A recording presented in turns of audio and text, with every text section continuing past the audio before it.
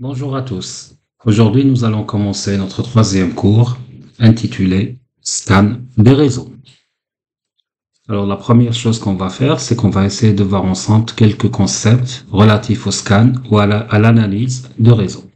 Il faut savoir que l'opération de scan ou de balayage est un processus de collecte d'informations détaillées, supplémentaires, qui vient en supplément du footprinting par rapport à notre cible, afin d'aider à faire une reconnaissance plus complexe, mais qui devient agressive à ce moment-là, car on est en contact direct avec la cible.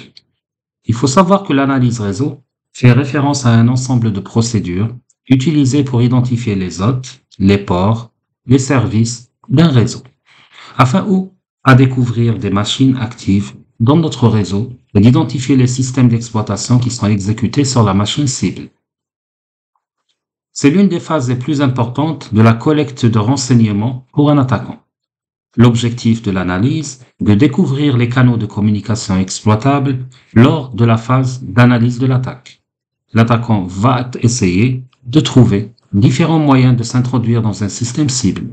Il va tenter également de découvrir plus d'informations sur la cible afin de déterminer d'éventuelles erreurs de configuration qu'il pourra exploiter lors de son attaque. L'attaquant utilisera ensuite les informations obtenues pour développer sa propre stratégie d'attaque. Il faut savoir qu'il existe plusieurs types de scans. D'abord, nous avons le scan de port, qui permet de répertorier les ports et les services ouverts. Cette analyse de port est un processus de vérification des services exécutés sur l'ordinateur cible via la connexion ou l'analyse des ports TCP et UDP de notre cible, afin de déterminer si les services sont en cours d'exécution ou non, ou bien s'ils sont dans un état d'écoute. Il faut savoir que l'état d'écoute fournit des informations sur le système d'exploitation et l'application actuellement utilisée. Fois, les services actifs en écoute peuvent permettre à des utilisateurs non autorisés de mal configurer les systèmes ou d'exécuter des logiciels présents en des vulnérabilités. Le deuxième type de scan est le scan de réseau qui permet de répertorier les hôtes actifs et les adresses IP se trouvant sur le réseau. Le troisième type de scan est ce qu'on appelle le scan de vulnérabilité, qui affiche la présence de faiblesses connues. Donc, l'analyse de vulnérabilité est une méthode qui permet de vérifier si un système est exploitable en identifiant les différentes vulnérabilités qu'il contient. Si on procède par allégorie, donc on va imaginer la chose, on va imaginer un voleur qui veut s'introduire dans une maison. Donc, qu'est-ce qu'il va faire? Il va chercher les points d'accès, tels que les portes ou les fenêtres. Ce sont généralement les points les plus vulnérables de la maison, car ils sont facilement accessibles. Lorsqu'il s'agit d'un système ou de réseau informatique, les ports représentent ces portes et ces fenêtres qu'un intrus pourra utiliser pour y accéder. En règle générale, pour les systèmes informatiques, c'est que plus le nombre de ports ouverts est élevé, plus le système est vulnérable. Cependant, il existe des cas dans lesquels un système avec moins de ports ouverts qu'une autre, qu'une machine, qu'une autre machine pourra présenter un niveau de vulnérabilité beaucoup plus élevé. Il faut savoir que le but de l'analyse réseau, c'est de disposer d'un maximum d'informations sur une organisation cible. Car plus grande sont les informations dont nous disposons, meilleures sont nos chances de connaître les failles de sécurité d'un réseau et par conséquent pouvoir y accéder sans autorisation. Il faut savoir que certains objectifs de l'analyse d'un réseau sont les suivants. D'abord, la découverte des hôtes sur le réseau, reconnaître les adresses IP, les ports ouverts sur les, sur les différents hôtes. En utilisant les ports ouverts, l'attaquant pourra déterminer le meilleur moyen d'entrer dans le système découvrir le système d'exploitation et l'architecture système de la cible. Ceci est également connu sous le nom de prise d'empreinte digitale ou footprinting. Un attaquant peut formuler une stratégie d'attaque basée sur les vulnérabilités du système d'exploitation. En conséquent, il peut découvrir les services en cours d'exécution, on écoute sur le système. Cela va permettre à l'attaquant d'avoir une indication des vulnérabilités basée sur les services qui peuvent être exploités pour accéder au système cible, identifier les applications ou les versions spécifiques d'un service particulier, ou bien identifier les vulnérabilités de l'un des systèmes réseau. Cela va aider l'attaquant à compromettre le système ou le réseau cible via divers exploits. Pour pouvoir faire du scan réseau, on va utiliser des protocoles. Donc, on va essayer de voir, de faire un petit rappel par rapport au protocole TCP. Il faut savoir qu'une entête TCP contient divers indicateurs contrôlent la transmission des données via une connexion TCP. Six indicateurs de contrôle TCP gèrent la connexion entre les hôtes et donnent des instructions au système. Quatre de ces indicateurs, à savoir l'indicateur SYN, ACK, fin et reset, régissent l'établissement et la maintenance de la terminaison d'une connexion. Les deux autres drapeaux, PUTCH et URGE, fournissent des instructions au système. La taille de chaque drapeau est de 1 bit. Comme il y a 6 drapeaux dans la section TCP flag, la taille de cette section est de 6 bits. Lorsqu'une valeur d'indicateur est définie à 1, cet indicateur est automatiquement activé. Le flag SYN notifie la transmission d'un nouveau numéro de séquence. Ce drapeau représente généralement l'établissement d'une connexion, ce qu'on appelle le three-way handshake, entre deux hosts. Le flag ACK confirme la réception de la transmission et identifie le prochain numéro de séquence attendu. Lorsque le système reçoit avec succès un paquet, il définit la valeur de ce flag sur 1, ce qui implique que le récepteur doit y prêter attention.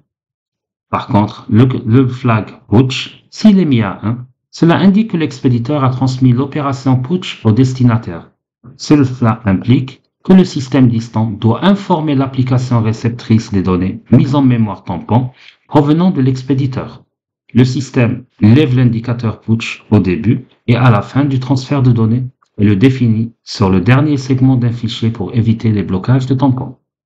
Le flag urge va demander au système de traiter les données contenues dans les paquets dans les plus brefs délais. Lorsque le système met l'indicateur à 1, la priorité est donnée au traitement des données urgentes en premier et tous les autres traitements de données sont arrêtés.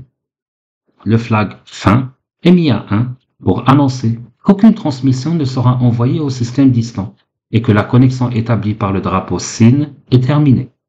Le flag reset est activé lorsqu'il y a une erreur dans la connexion en cours et la connexion est automatiquement interrompue en réponse à l'erreur. Les attaquants utilisent cet indicateur pour analyser les, les hôtes et identifier les ports ouverts. Il faut savoir que l'analyse SYN traite principalement trois indicateurs, savoir SYN, ACK et reset. Vous pouvez utiliser ces trois indicateurs pour collecter les informations illégales auprès des serveurs lors de l'énumération.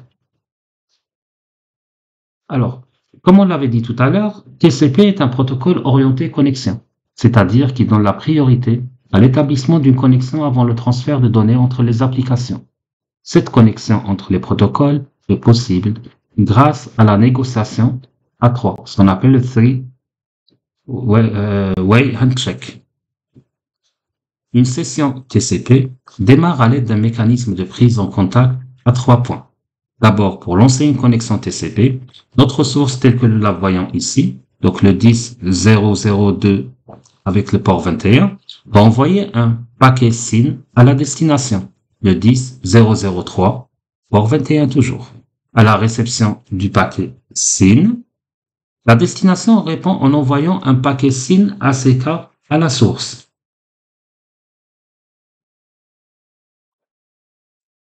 Le paquet ACK va confirmer l'arrivée du premier paquet SYN à la source. Enfin, la source va envoyer un paquet ACK pour le paquet SYN ACK transmis par la destination. Cela va déclencher une connexion open, permettant ainsi le début de la communication entre la source et la destination, qui se poursuit jusqu'à ce que l'une des deux parties émette un paquet fin ou reset pour fermer la connexion. Il faut savoir que le protocole TCP maintient des connexions avec État. Tous les protocoles orientés connexion sur Internet et fonctionnent de la même manière qu'une communication téléphonique ordinaire, dans laquelle on décroche un combiné téléphonique, on entend une tonalité, on compose un numéro de bureau qui déclenche la sonnerie à l'autre bout du fil jusqu'à ce que quelqu'un décroche le combiné et dit allô.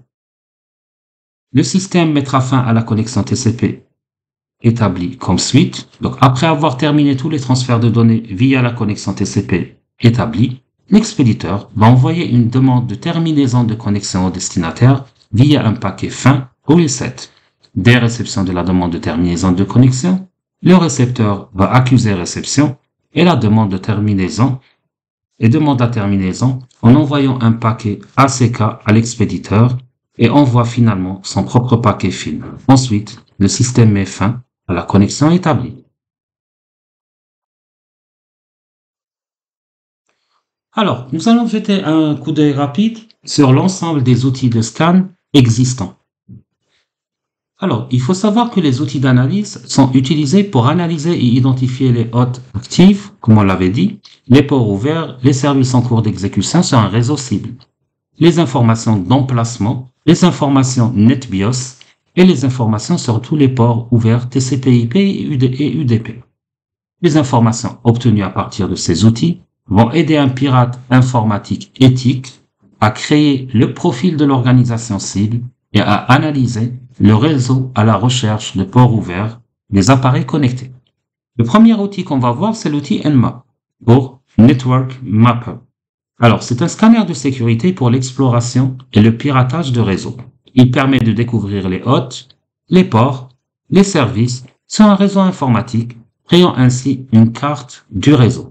Il va envoyer des paquets spécialement conçus vers la cible, puis il va analyser les réponses pour atteindre son objectif. Il permet d'analyser aussi de grands réseaux, comprenant littéralement de centaines, voire même des milliers de machines. Nmap inclut de nombreux mécanismes d'analyse de ports TCP UDP, des mécanismes de détection du système d'exploitation, de détection de version, de balayage ping, etc. Un administrateur réseau ou un attaquant pourra utiliser cet outil pour ses besoins spécifiques. Les administrateurs peuvent utiliser Nmap pour l'inventaire des réseaux, la gestion des calendriers de mise à niveau des services et la surveillance de la disponibilité de l'hôte et du ou du service. Les attaquants utilisent Nmap aussi pour extraire des informations telles que les hôtes actifs sur le réseau, les ports ouverts, les services, donc le nom du service, sa et la version de l'application qu'il exploite, le type de filtrage au niveau, au niveau de pare-feu de paquet, les détails Mac, l'OS, ainsi que sa version. Un autre outil assez intéressant, c'est l'outil HPing 2 ou HPing 3.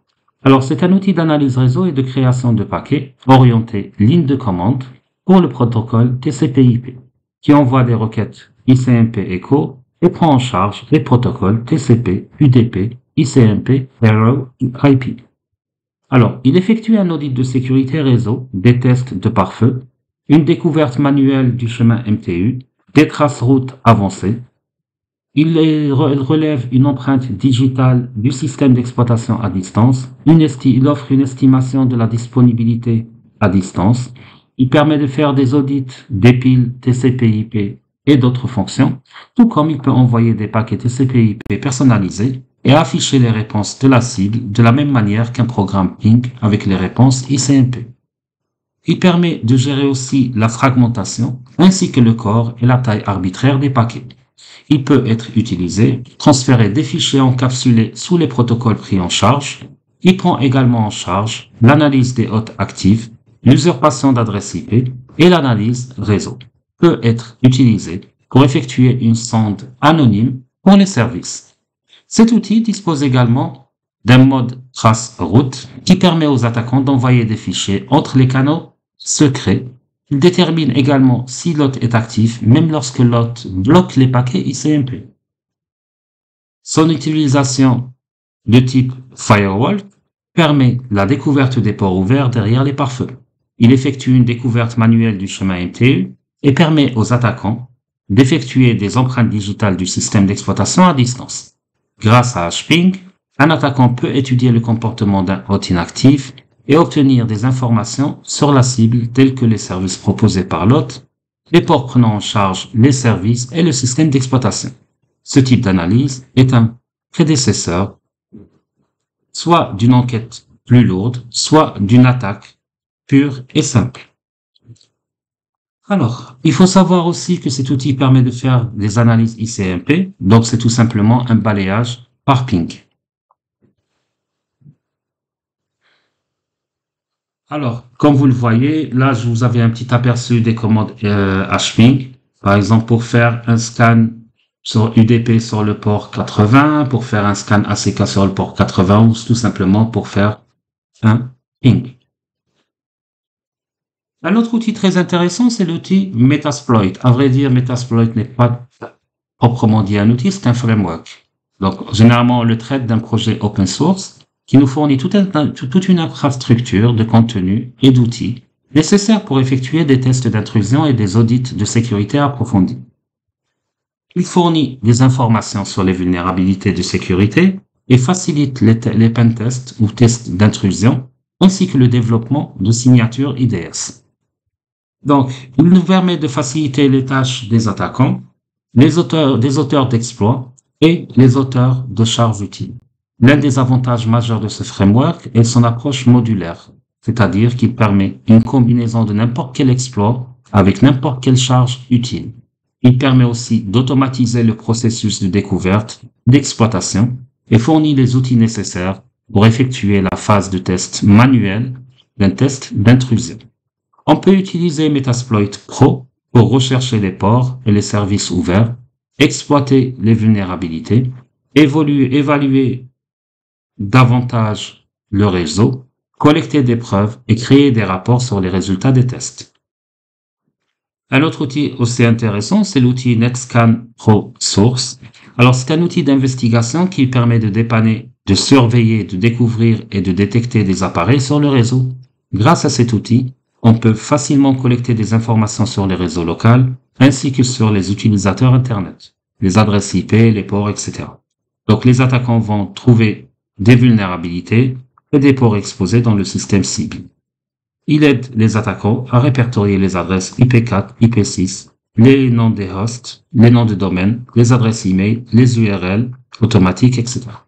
De manière générale, la plupart de ces outils se rapprochent en termes de fonctionnalités. Vous allez trouver certaines fonctionnalités supplémentaires dans l'un, un peu moins de fonctionnalités dans l'autre. Aussi, nous avons un ensemble d'outils pour les environnements mobiles, ça veut dire pour vos smartphones ou bien vos tablettes. On peut citer IP Scanner pour euh, l'environnement iOS, Network Scanner pour tout ce qui est Android, ou bien Thing qui fonctionne sur les deux environnements.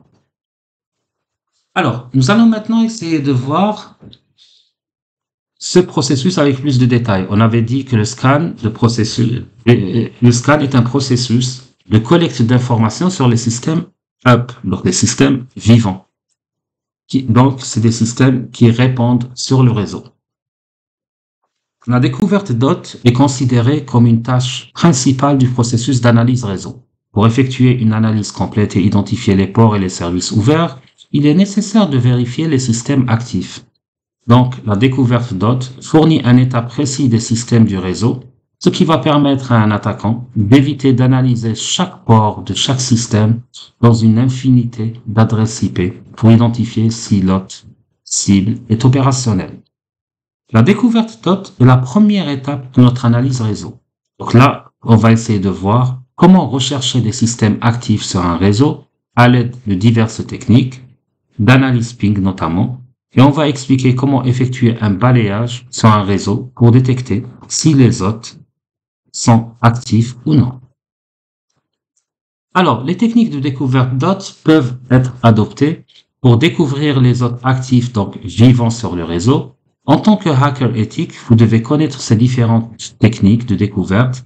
Certaines techniques de découverte sont répertoriées ci-dessus, notamment l'analyse ping ARP, l'analyse ping en utilisant UDP, ICMP, le, ce qu'on appelle l'horodatage ICMP, le masque d'adressage ICMP, le ping de synchronisation TCP, le ping TCP ACK, ainsi que l'analyse du protocole IP. Nous allons commencer par l'analyse ping ARP. Il faut savoir que lors de l'analyse ping ARP, les paquets ARP sont envoyés pour découvrir tous les appareils actifs dans la plage IPv4, même si la présence de ces appareils est masquée par des pare-feux restrictifs. Dans la plupart des réseaux, de nombreuses adresses IP sont inutilisées à un moment donné. soit parce sont, les PC sont éteints, ou tout simplement parce que l'entreprise n'a pas assez d'équipement pour occuper toute la plage d'adresses. C'est spécialement le cas dans les plages d'adresses privées du réseau local. Par conséquent, lorsque les attaquants tentent d'envoyer des adresses IP, telles qu'une demande d'écho ICMP à l'autre cible, le système d'exploitation doit déterminer l'adresse matérielle de la destination correspondant à l'adresse IP cible pour pouvoir adresser correctement la trame Ethernet. À cet effet, une série de requêtes ARP est émise. L'analyse ARP est utilisée pour afficher l'adresse MAC de l'interface réseau sur l'appareil elle peut également afficher des adresses MAC de tous les appareils partageant la même adresse IP sur le réseau local. Si l'adresse IP de l'hôte avec l'adresse de destination matérielle respective est active, alors réponse les réponses ARP sont, sera générées par l'hôte. Sinon, après un certain nombre de tentatives de ping, le système d'exploitation d'origine va abandonner l'hôte. En d'autres termes, lorsque les attaques quand envoient des requêtes ARP à l'hôte cible, s'ils reçoivent une réponse ARP, alors l'hôte est actif, sinon l'hôte de destination ne répond pas. Donc, log source ajoute une entrée incomplète à l'adresse IP de destination dans sa table ARP du noyau. Alors, il faut savoir que l'analyse ping ARP est considérée comme une des plus efficaces et les plus précises que les autres techniques de découverte réseau. L'analyse ping ARP analyse gère automatiquement la demande ARP, la retransmission et le délai d'attente à sa propre discrétion. Donc c'est à vous de choisir ce délai d'attente. L'analyse PIGA ARP est utilisée pour la découverte du système où vous devez peut-être analyser de grands espaces d'adressage. Aussi, l'analyse ping ARP peut afficher un temps de réponse ou de latence d'un périphérique à un paquet ARP. Il faut savoir que l'analyse, maintenant on va passer vers l'autre analyse qui est l'analyse ping UDP. Alors l'analyse ping UDP est similaire à l'analyse ping TCP. Cependant, lors de l'analyse ping UDP, Nmap va envoyer des paquets UDP à l'autre cible. Le numéro de port par défaut utilisé par Nmap pour l'analyse ping UDP est le port 40 ou 125. Ces ports sont très rares et sont utilisés par défaut pour envoyer des paquets UDP à la cible. Ce numéro de port par défaut peut être configuré à l'aide de la commande default UDP probe for spec pendant la compilation dans Nmap. Les attaquants envoient des paquets UDP à l'autre cible et une réponse UDP signifie que l'autre cible est active.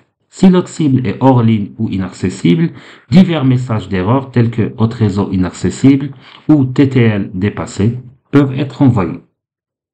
L'avantage de cette méthode est que les analyses ping UDP vont détecter les systèmes derrière les pare-feux avec un filtrage TCP strict.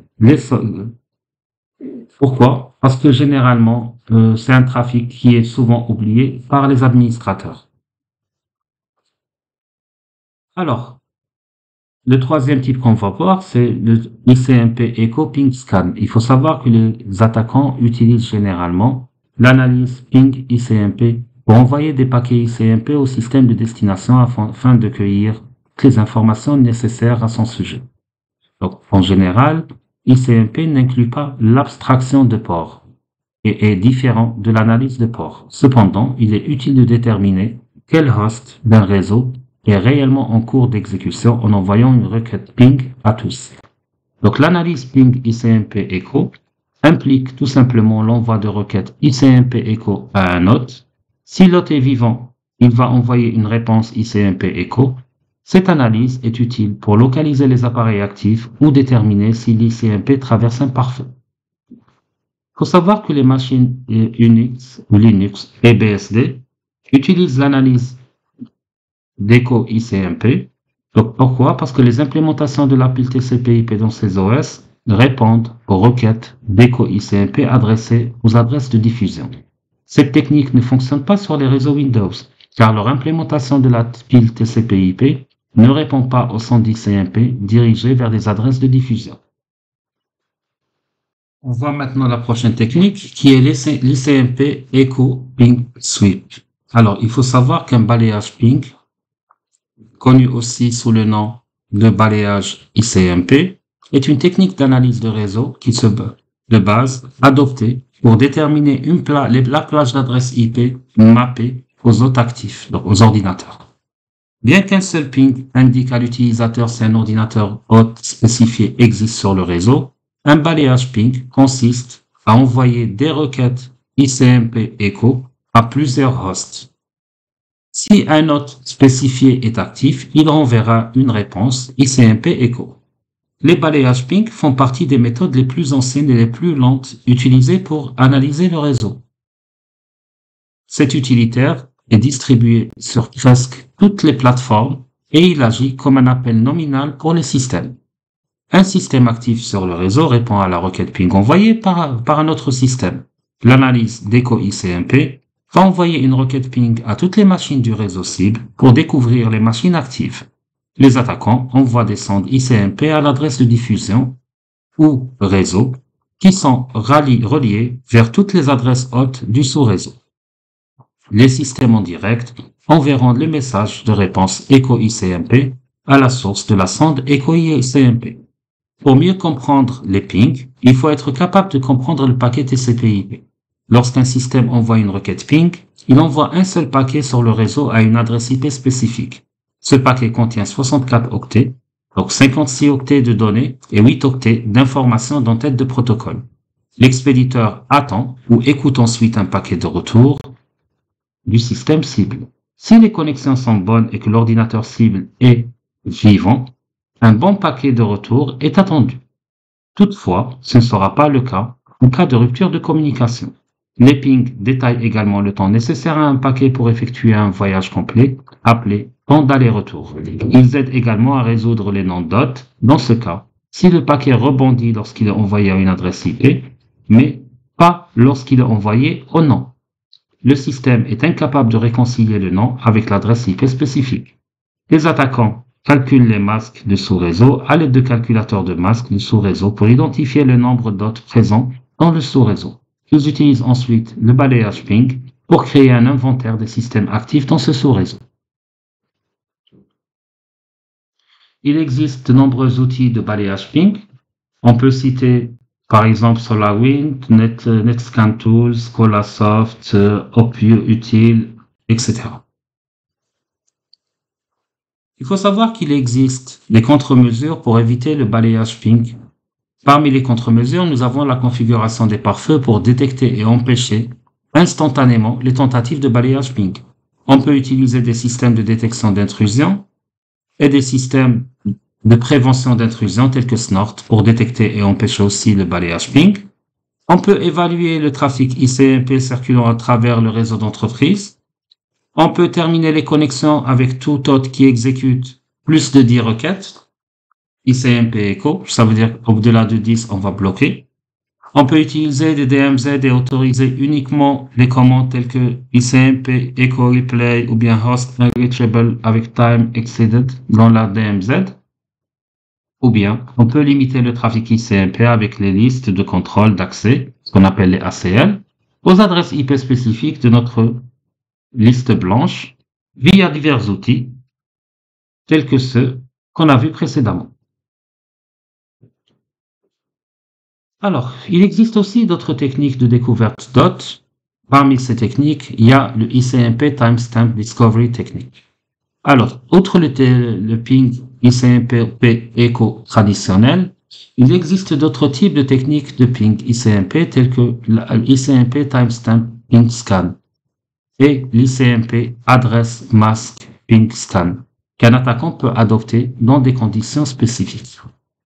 Le premier, qui est le ping d'horloge ICMP, est un type facultatif et supplémentaire de ping ICMP par lequel un attaquant va interroger un message d'horodatage pour acquérir les informations relatives à l'heure actuelle auprès de la machine cible visée. Donc, la machine cible va répondre via une réponse d'horodatage à chaque requête reçue. Cependant, la réponse de l'hôte de destination est conditionnelle il peut ou peut ne pas répondre avec la valeur temporelle en fonction de sa configuration par l'administrateur du côté de la cible. Cette technique de ping d'horodatage est généralement utilisée pour la synchronisation de l'heure. Une telle méthode ping est efficace pour identifier si la machine haute de destination est active, en particulier dans le cas où l'administrateur a bloqué les requêtes ping ICMP Echo traditionnelles. La deuxième approche, qui est l'ICMP Address Mask Ping Scan, est une autre alternative au ping ICMP Echo traditionnel, dans laquelle les attaquants envoient une requête de masque d'adresse ICMP à l'autre cible pour acquérir des informations relatives au masque de sous-réseau. Cependant, la réponse du masque d'adresse de l'hôte de destination est conditionnelle. Il peut ou peut ne pas répondre avec la valeur du sous-réseau approprié en fonction de sa configuration par l'administrateur du côté cible. Ce type de méthode de ping est également efficace pour identifier les hosts actifs de la même manière que le ping d'horodatage ou CMP, en particulier lorsque l'administrateur bloque le ping traditionnel. La troisième technique que nous allons voir, c'est le TCP Sync, SYN, Ping, Scan. Dans ce cas, c'est une technique de découverte d'hôtes qui permet de sonder différents ports afin de déterminer si le port est en ligne et de vérifier s'il rencontre des, ensembles de règles de pare-feu. Dans ce type de technique de découverte d'hôtes, l'attaquant va utiliser l'outil Nmap pour lancer la négociation à, trois phases en envoyant l'indicateur TCP-SYN qui est vide, donc on envoie le flag vide, à l'autre cible. Après avoir reçu un SYN, l'autre cible va accuser réception avec un indicateur ACK. Après réception du flag ACK, l'attaquant confirme que l'autre cible est active et met fin à la connexion en envoyant le flag reset à la machine hôte cible, puisque son objectif c'est uniquement de découvrir si l'hôte est actif. Et là, l'objectif est atteint. Généralement, le port 80 est utilisé comme port de destination par défaut. Une place de port peut également être spécifiée dans ce type de format de ping. Donc là, vous pouvez choisir par exemple les ports 22, 25, 80, 113. Carrément, vous avez l'embarras du choix. Alors, il faut savoir comme les machines peuvent être analysées en parallèle, l'analyse n'obtient jamais d'erreur de délai d'attente en attendant les réponses. Donc, le ping TCP-SYN peut être utilisé pour déterminer si l'hôte est actif sans créer de connexion. Par conséquent, les journaux d'événements ne sont pas enregistrés au niveau du système ou du réseau, ce qui permet à l'attaquant de, ne laisser aucune trace pour la détection. Une autre technique, c'est le TCP-ACK ping Scan. Alors, c'est une technique qui est similaire au TCP-SYN, avec une petite variation mineure. Dans ce cas-là, le ping TCP-ACK va utiliser également le port par défaut 80. Or, dans la technique du ping TCP-ACK, l'attaquant envoie directement le paquet ACK vide à cible. S'il n'y a aucune connexion préalable entre l'attaquant et l'hôte, après avoir reçu le paquet ACK, la cible va répondre avec un indicateur reset pour mettre fin à la demande, parce qu'elle croit que c'est une erreur. La réception de ce paquet reset du côté de l'attaquant indiquera tout simplement que l'autre est active. Alors, il faut savoir que les paquets SYN et ACK peuvent être utilisés pour maximiser les chances de contourner les pare-feux. Cependant, les pare-feux sont principalement configurés pour bloquer les paquets ping SYN, car il s'agit de la technique de ping la plus courante. Dans de tels cas, la sonde ACK peut être utilisée efficacement pour contourner facilement cet ensemble de règles de pare-feu. Nous avons aussi le IP Protocol Ping Scan, donc le ping du protocole IP, et la dernière option de découverte DOT, qui, qui va envoyer des paquets ping IP vers l'entête IP de n'importe quel numéro de protocole spécifique. Il a le même format que le ping TCP et UDP. Il faut savoir que cette technique va tenter d'envoyer différents paquets en utilisant différents protocoles IP en espoir d'obtenir une réponse indiquant qu'un note est en ligne. Plusieurs paquets IP pour ICMP, par exemple le protocole 1, IGM ou bien IGMP protocole 2, sont envoyés par défaut lorsque aucun protocole n'est spécifié. Pour configurer les protocoles par défaut, on peut le faire au niveau du fichier nmap.h pendant la compilation. Alors, maintenant que nous avons vu le processus de scan pour collecter les informations pour savoir quels sont les systèmes qui sont up, donc qui sont vivants et qui répondent sur le réseau, il est temps de découvrir l'hôte lui-même. Et là, ça, va être notre tâche principale, de faire un processus d'analyse pour savoir quels sont les ports ouverts sur ce host afin de pouvoir identifier quels sont les services actifs sur l'host. En même temps, pouvoir identifier les versions de ces services dans le but de trouver les vulnérabilités existantes sur ce host. Il faut savoir que les techniques d'analyse de host sont variées et diverses. Elles sont classées comme décrit dans la planche que vous voyez ici. Donc on va essayer de voir ces techniques une à une. Alors nous allons commencer par la plus simple qui est la TCP Connect ou bien ce qu'on appelle le Full Open Scan. Alors le Full Open Scan est l'une des formes d'analyse TCP les plus fiables. Lors de l'analyse TCP Connect, l'appel système TCP Connect du système d'exploitation va essayer d'ouvrir une connexion au niveau de chaque port que l'on s'intéresse sur la machine cible.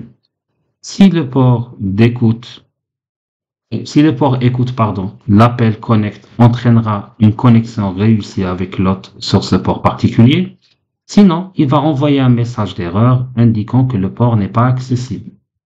Il faut savoir que l'analyse TCP Connect va effectuer une négociation trois phases, ce qu'on appelle le three-way handshake, avec la machine cible. Dans, la dans cette négociation TCP, le client envoie un paquet SYN, le destinataire va accuser réception avec un paquet SYN ACK. Ensuite, le client va accuser réception du paquet SYN ACK avec le paquet ACK pour terminer la connexion. Une fois la négociation terminée, l'attaquant va envoyer un paquet reset pour mettre fin à la connexion. Effectuer un appel connect distinct pour chaque port ciblé de manière linéaire prendrait beaucoup de temps avec une connexion lente l'attaquant peut accélérer l'analyse en utilisant plusieurs sockets en parallèle. Grâce à leur caractère non bloquant, les entrées-sorties permettent à l'attaquant de définir un court délai d'attente et de surveiller toutes les sockets simultanément. La deuxième approche, c'est ce qu'on appelle le skid scan, ou bien ce qu'on appelle le half open scan. Donc là, c'est une analyse furtive en quelque sorte, qui va impliquer de réinitialiser brusquement la connexion TCP entre le client et le serveur avant la fin des signaux de négociation du three-way euh, handshake, rendant ainsi la connexion à moitié ouverte. Une analyse furtive envoie une seule trame à un port TCP sans aucune négociation TCP ni transfert de paquets supplémentaires. Ce type d'analyse va envoyer la trame dans l'attente d'une seule réponse. Donc l'analyse semi-ouverte va ouvrir partiellement une connexion mais va s'arrêter à mi-parcours. Cette analyse furtive est également appelée l'analyse SYN, car elle envoie uniquement le paquet SYN. Cela empêche le service de notifier la connexion entrante, donc TCP SYN, ou l'analyse semi-ouverte est une méthode furtive d'analyse de port. L'analyse furtive implémente également la méthodologie de prise de contact à trois étapes, dans la dernière étape, elle va examiner les paquets entrant dans l'interface et termine la connexion avant de déclencher une nouvelle initialisation pour identifier les ports distants. Le processus d'analyse furtif est décrit comme suit. D'abord, le client va envoyer un seul paquet SYN au serveur sur le port approprié. Si le port est ouvert, le serveur répondra ensuite avec un paquet SYN ACK. Si le serveur répond avec un paquet reset, alors le port distant est à l'état fermé. Si le client envoie un paquet reset pour clôturer euh, l'initiation avant qu'une connexion puisse être établie. Les attaquants utilisent cette technique d'analyse furtive pour contourner les règles de pare-feu et les mécanismes de journalisation, en se cachant comme d'habitude sous le trafic réseau. Il y a aussi la technique qu'on appelle inverse TCP flag scan. Dans ce cas de figure, l'attaquant, il va tout simplement envoyer des paquets de centre TCP avec des indicateurs fin, urge et putsch définis, ou bien sans indicateur. Lorsque le port est ouvert, l'attaquant n'obtient aucune réponse de l'hôte, tandis que lorsque le port est fermé, il va recevoir un reset de l'autre cible. Les mécanismes de sécurité tels que les pare-feux et les IDS détectent les paquets SYN envoyés au port sensible des hôtes ciblés. Des programmes tels que SYNLogger ou Courtney sont disponibles pour enregistrer les tentatives d'analyse réseau en utilisant le flag SYN à moitié ouvert. Parfois, les paquets de sont activés avec des indicateurs TCP peuvent passer à travers les filtres sans être détectés, en fonction des mécanismes de sécurité installés. Une technique inversée consiste à sonder une cible à l'aide d'un indicateur SIN à moitié ouvert, car les ports fermés ne peuvent renvoyer que la réponse. Conformément à la RFC 793, un paquet EIL7 ACK est envoyé pour réinitialiser la connexion lorsque lot ferme un port. Les attaquants profitent de cette fonctionnalité pour envoyer des paquets de son TCP à chaque port de lot cible avec divers indicateurs TCP définis.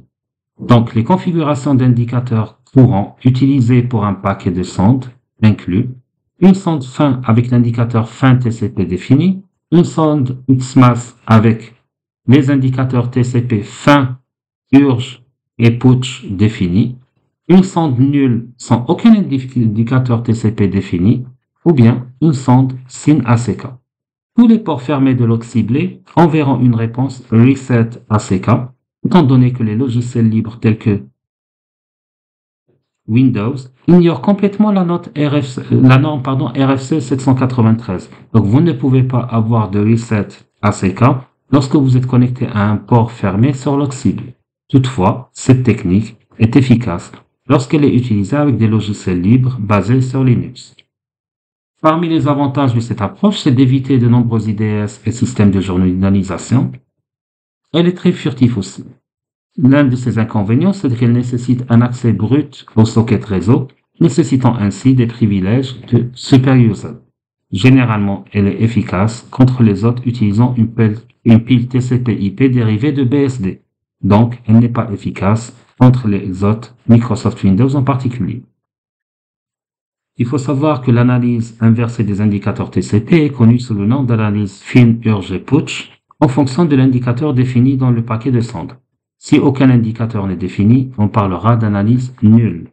Si seul l'indicateur fin est défini, on parle d'analyse fin. Si tous les éléments fin urge et putsch sont définis, on parlera d'analyse XMAS ou analyse de Noël. On arrive maintenant vers le scan XMAS. Il faut savoir que c'est un type de technique d'analyse TCP inverse avec les indicateurs fin, urge et putsch définis pour envoyer une trame TCP à un périphérique distant. Si la cible a ouvert le port, vous ne recevrez aucune réponse du système distant. Si la cible a fermé le port, vous recevrez une réponse du système distant avec un reset. Vous pouvez utiliser ces techniques d'analyse de port pour analyser de grands réseaux et trouver quel hôte est actif et quel service il propose. Cette technique décrit tous les jeux d'indicateurs TCP. Lorsque tous les indicateurs sont définis, certains systèmes se bloquent. Par conséquent, les indicateurs sont souvent définis selon le modèle absurde, urge, putsch et fin. Les attaquants utilisent l'analyse TCP XMAS pour définir si les ports sont fermés sur la machine cible via le paquet reset. Cette analyse ne fonctionne que lorsque les systèmes sont conformes à l'implémentation de la RFC 793. Par conséquent, il ne fonctionne avec aucune version actuelle des, systèmes Microsoft Windows. Cette méthode s'appuie sur le code réseau BSD. Ainsi, vous ne pouvez l'utiliser que pour les hôtes Linux et dérivés. Il ne prend pas en charge tout ce qui est Windows. Si l'utilisateur analyse un système Microsoft, cela montrera que tous les ports de l'hôte sont ouverts. Vous avez la possibilité, en exploitant cette méthode, d'initialiser tous les indicateurs lors de la transmission de paquets vers un autre distant. Si le système cible accepte le paquet et n'envoie aucune réponse, cela signifie que le port est ouvert. Si le système cible envoie un, un indicateur reset, cela implique que le port est fermé. Cette méthode généralement évite la négociation à trois étapes évite les IDS et TCP. Par contre, il fonctionne uniquement sous les plateformes Linux. Alors, la prochaine approche, c'est le TCP Maimon Scan. Alors, il faut savoir que cette technique est très similaire à une analyse nulle. L'analyse nulle où on avait dit on n'envoie aucun flag, elle est similaire à l'analyse fin et XMAS. Seulement, la sonde utilisée ici, c'est le fait d'envoyer le fin à ces cas.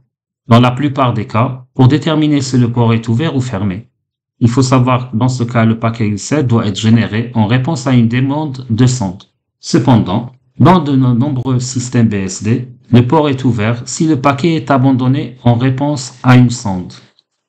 Nmap va interpréter un port comme ouvert, filtré, lorsqu'il n'y a pas de réponse de la sonde, scan Maymoon. Mais après de nombreuses retransmissions. Le port est fermé si la sonde obtient une réponse sous la forme de paquet U7. Le port est filtré lorsque l'erreur ICMP inaccessible type 3 est renvoyée par l'auxile.